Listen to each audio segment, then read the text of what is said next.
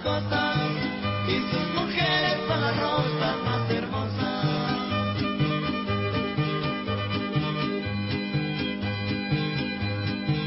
Adiós, adiós.